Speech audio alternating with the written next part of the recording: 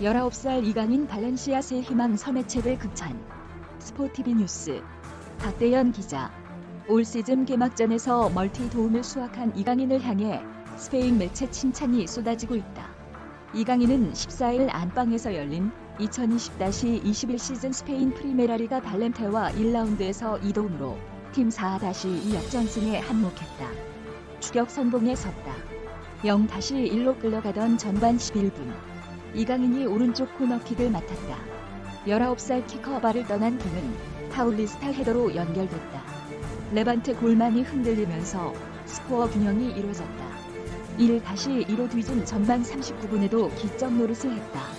방향 전환 패스를 깔끔히 컨트롤한 뒤 포백 사이를 파고드는 막시 고메즈에게 건넸다. 전반일망 동점골 두 개에 모두 관여하는 눈부신 생산성을 뽐냈다. 스페인 언론 호평이 봇물을 이뤘다. 스페인 스포츠 신문 아스는 14일 입단 새 시즌 만에 개막 로스터에 이름을 올린 이강인이 첫 경기부터 위협적인 모습을 보였다.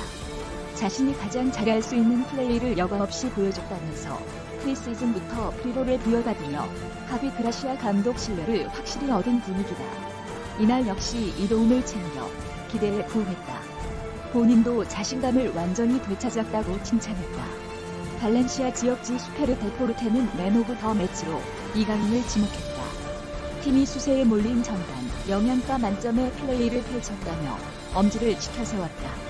스페인 스포츠 신문 데포르테 발렌시아노도 팀 주축이 대거 빠져나간 올해 고메스와 이강인 콤비 활약이 어느 때보다 중요하다. 둘은 개막전서부터 좋은 호흡을 보였다. 발렌시아의 새 희망이 되기에 부족함이 없다고 힘주어 말했다. 스포티비 뉴스 박대현 기자. 저작권자 스포티비 뉴스 무단전제 및 재배포 금지